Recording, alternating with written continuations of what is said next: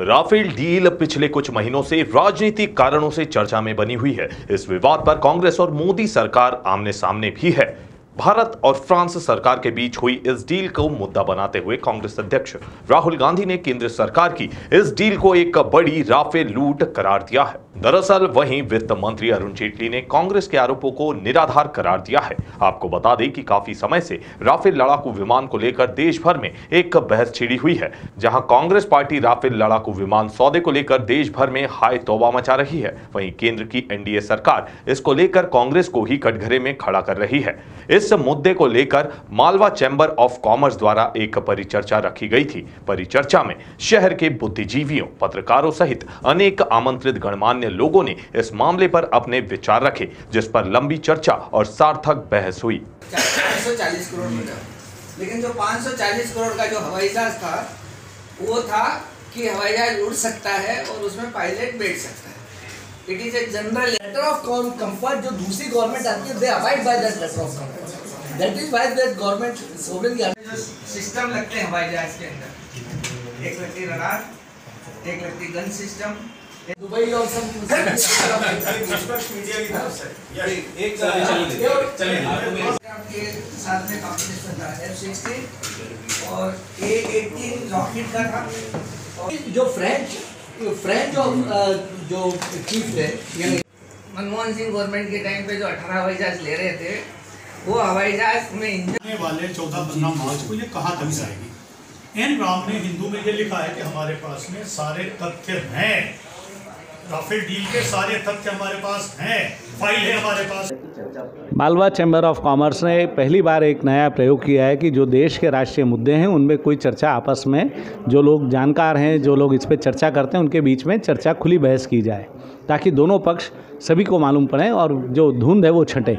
इस नाते से मेरी पिछली बार जब हमारी व्हाट्सएप पे डिबेट हो रहा था तो मैंने नारंग साहब से आग्रह किया कि मेरी और कोठारी जी की वन टू वन डिबेट करा लें ताकि हम आमने सामने बात कर लेंगे तो उस तरीके का आयोजन आज किया गया। और जब उसमें आ, मुझे सबसे पहले मैं सरकार का पक्ष रख रहा था तो मुझ पर कोठारी साहब की तरफ़ से कई सारे मुद्दे थे कि सरकार वी वॉन्ट टू नो मैंने उसमें तीन चार, मेरी जो बात का आधार है, वो 2001 से सेना की आवश्यकता राफेल या यूरो फाइटर होता, कोई भी आधुनिक विमान की आवश्यकता, प्रमुख बात मैंने, मेरा कहना था। और पूरे 10 वर्ष में कांग्रेस की सरकार ने उस पर 10 वर्ष तक मेहनत की, लेकिन 2014 में उसको वापस पुनर्विचार करके खारिज कर दिया और परिणाम ये हुआ, हम बैक टू स्क्वायर वन हो गए। और इस नाते से मैंने कहा, मोदी जी की सरकार ने बहुत जल्दी से इस पर कार्रवाई की और लोकसभा में दो और तीन जनवरी को जो बहस हुई, उसमें ये बात सरकार ने सदन को बताई जो झुटलाई नहीं जा सकती, कि जो मनमोहन सरकार के समय जो प्रस्ताव थे, दो तरह के एयरक्राफ्ट, एक खाली हवाई जहाज़ और दूसरा युद्ध से, सामग्री से सज्जित। दोनों के जो प्रस्ताव कांग्रेस की मनमोहन सरकार के समय थे, उसमें हमने 9 प्रतिशत और 20 प्रतिशत कम कीमत पे खरीदा है। तीसरी बात जो उन्होंने एचएल के ऊपर जो आरोप लगाया कि एचएल से लेके अंबानी को दे दिया हमने बताया कि एचएल कभी भी ऑफसेट पार्टनर नहीं होता है, एचएल विमान बना सकता था, लेकिन उसके घंटे काम करने के तीन गुना होते 2.7 टाइम उस दृष्टि से जो हवाई जहाज़ हमको 2019 से 2022 में मिल जाएँगे, अगर हम वह और तरीके से लेते तो उसको 12 साल लगते और देश की सुरक्षा जो हम ऑलरेडी 10 साल उसको लंबित कर चुके हैं, अब हमारे पास समय नहीं था कि हम उसको और आगे करें। दूसरे दुनिया के जो हमारे पड़ोसी देश हैं, वो हमसे इन मामलों में बहुत आगे चले गए हैं। आप देखिए, भारत की जो सीमा है, वो सर्वाधिक लंबाई है। दोनों फ्रंट पे अगर हमारे साथ युद्ध होता है तो हमको 45 स्क्वाड्रन विमान की आवश्यकता है। जबकि हमारे पास आज 30 हैं। हमको 126 खरीदने हैं दो हमने सीधे खरीद लिए हैं जो कि कांग्रेस केवल 18 खरीदने की बात करी थी खरीदा एक भी नहीं। जो बाकी बात थी वो भी बात की बात थी। इस दृष्टि से दो स्क्वाड्रन तुरंत 2019 से 2022 में आ जाएँगे ये बहुत बड़ी उल्लेखनीय उपलब्धि है। राफेल राफेल का पूरा जो सौदा था वो पूरा बता दिया। इस परिचर्चा में क्या इस बात पे जब ये बात थी कि वाकई में कि क्या इस वर्तमान मोदी सरकार ने भारत के साथ कोई आर्थिक गड़बड़ की है? या ठीक किया है? वो बात मैंने स्पष्ट रखी, जो हाउस में जानकारी दी गई थी कि 9 प्रतिशत और 20 प्रतिशत कम में तो ये हमारे प्रश्नोत्तर के आधार पे मैंने स्पष्टीकरण दिया कि वह शीघ्र आ रहा है और 9 प्रतिशत और 20 प्रतिशत कम की कीमत पे आ रहा है, ये मैंने स्पष्टीकरण दिया उनका। मेरा जो विशेष रूप से पक्ष था, वो हिंदुस्तान एरोनॉटिक लिमिटेड को लेकर के था। पुरानी डील में एचएएल उसमें डिफेंस पार्टनर था। और अभी राजेश जी कह रहे हैं कि वो डिफेंस पार्टनर ऑफसेट पार्टनर नहीं बनता तो पुरानी डील में तो ऑफसेट पार्टनर बन रहा था। और उसमें यहाँ तक कि डिसाइड हो गया था कि 70 परसेंट पार्ट वो एचएएल में बनेंगे 30 परसेंट पार्ट वहाँ से आएँगे। तो ये एक ऐसा मुद्दा है कि जिसमें जो हमारे प्राइम मिनिस्टर मोदी जी ने मेक इन इंडिया का नारा दिया था और आज ये मेक इन इंडिया से हट करके मेक इन फ्रांस हो रहा है। सबसे पहली चीज़ तो ये है। दूसरा, जो इस डील में साथ में अंबानी गए थे तो जब अंबानी, अनिल अंबानी साथ में गए थे तो ये कहाँ से सीक्रेट डील हुई और इसमें सीक्रेसी कहाँ रही? और तीसरी जो बात मैंने उठाई थी, वो ये कि फ़ाइल आखिर चोरी हो गई तो सारे सिक्रेसी तो धरी रह गई है सिक्रेसी तो सब, उस फ़ाइल के साथ चली गई है।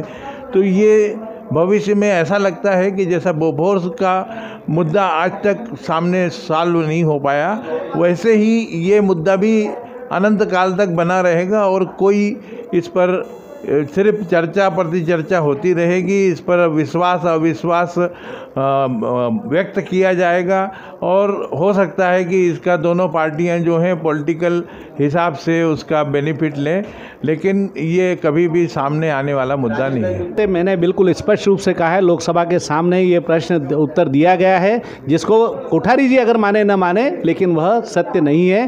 Rafale H L was not a partner H L के never be offset partner also H L हवाई जहाज़ बना सकता है, लेकिन हमारा जो लाइट एयरक्राफ्ट है। वो हमारा ऑलरेडी हम बहुत पीछे चल रहे हैं और दुर्भाग्य से कांग्रेस आरोप भले ही लगाए, लेकिन एचएल को कमज़ोर करने का काम कांग्रेस की सरकारों ने किया है। और इसलिए मोदी सरकार ने एचएल को मज़बूत करने के लिए उसको एक लाख करोड़ के काम दिए ताकि वो सक्षम हो और ज़्यादा जल्दी बना सकने की।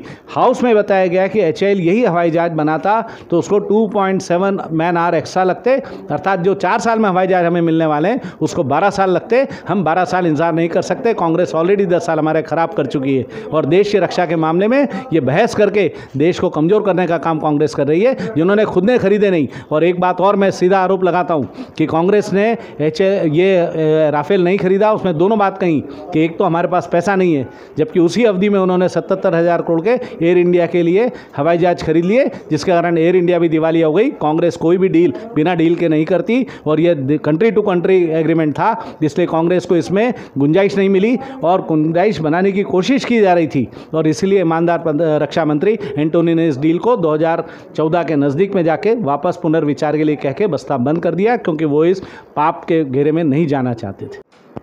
इस तरह का परिचर्चा रही हो क्या विषय आपने रखे? देखिए मैं जो है इस तरह के हवाई जहाज़ का मैं इंजीनियर हूँ और मुझे टेक्निकली जो है इस हवाई जहाज़ के बारे में और इसकी प्रोसीडिंग्स जो हुई परचेस में, उसके बारे में मैं आपको विस्तार से बताता हूँ कि इस ये फिफ्थ जनरेशन का फाइटर एयरक्राफ्ट है।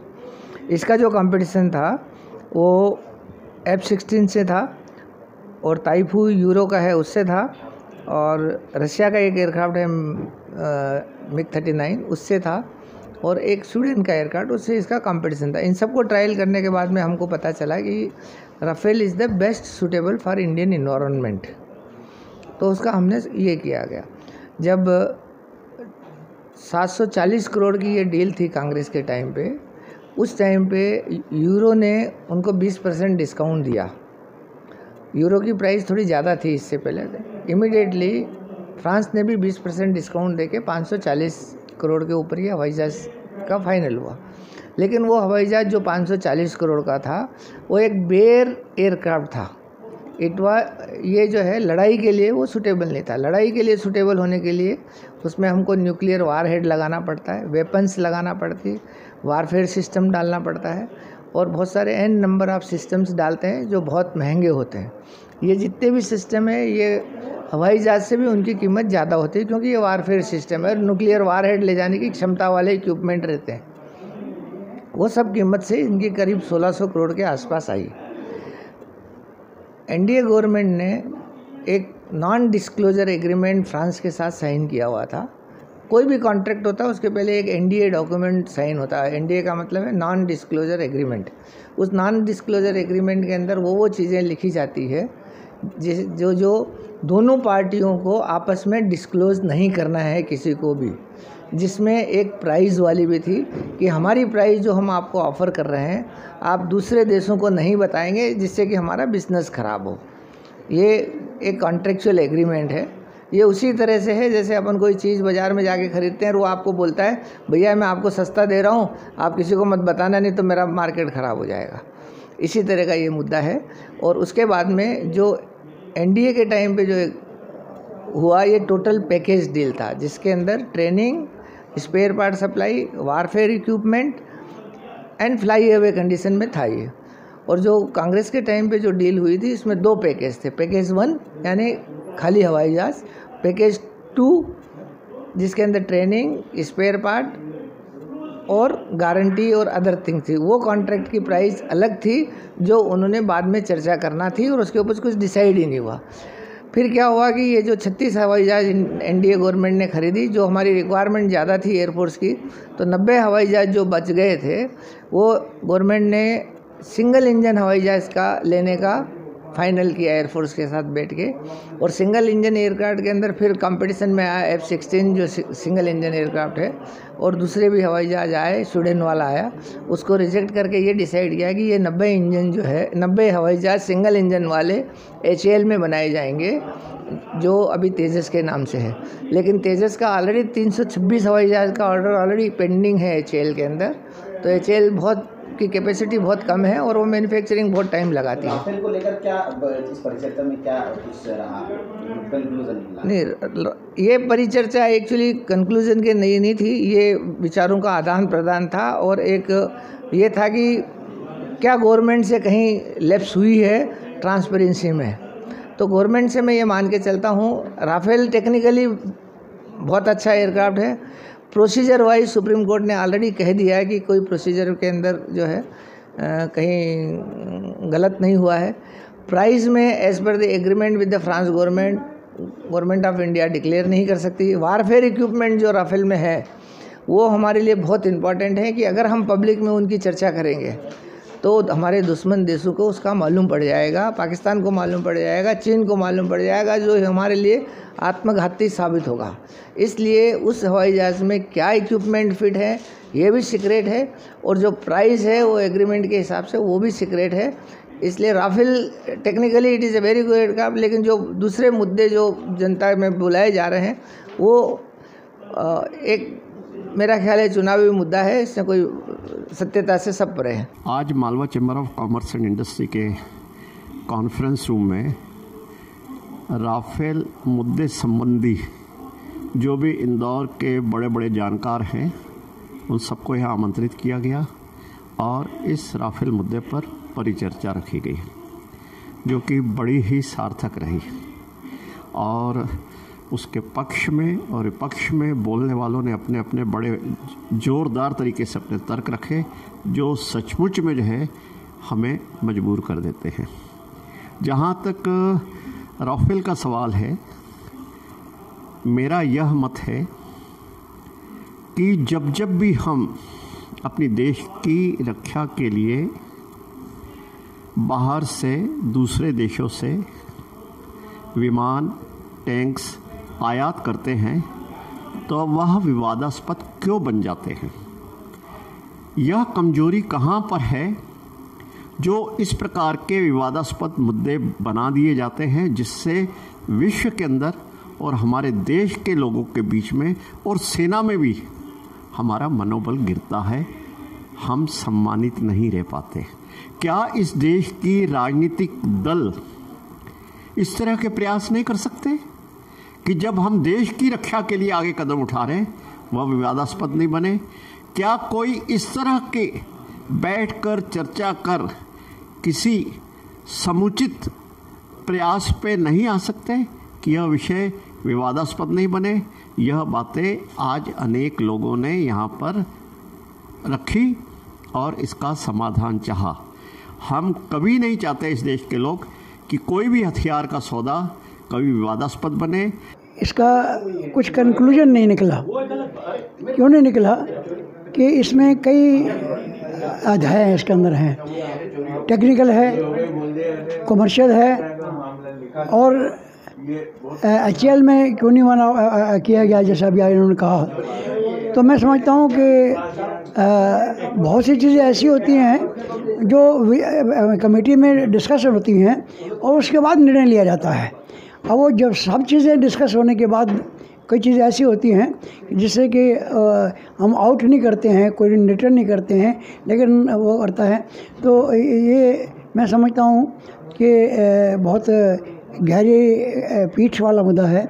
इसमें तभी रिज़ल्ट निकल सकता है कि पहले टेक्निकल व्यक्ति बोले, दूस, उसके बाद जो है, जो अपोजिट पार्टी का है वो बोले, फिर यहाँ जो इस पार्टी का रखने वाला है। और पार्लियामेंट में क्या हुआ? है? पार्लियामेंट में कौन से क्वेश्चन सामने आए? वो भी जानकारी आवश्यक है, क्योंकि वो जो जानकारी दी जाती है, वो एक अथेंटिकेटेड जानकारी दी जाती है। और अगर वहाँ प्रश्न वहाँ दोबारा भी किया जा सकता है, फिर सुप्रीम कोर्ट का मामला भी साथ में आ जाता है। तो इसलिए ये सब बातें होने के बाद भी अभी बहुत डिस्कशन होगा। और डिस्कशंस जो है वो इसलिए प्रॉपर नहीं हो पाता है, क्योंकि चुनाव सामने है। हर एक आदमी अपने चुनाव को सामने देख कर ही बात करता है। और कोई ना कोई किसी न किसी पार्टी से संबंधित होता है, इसलिए कंक्लूजन निकालना बहुत डिफ़िकल्ट है और पॉसिबल भी नहीं है।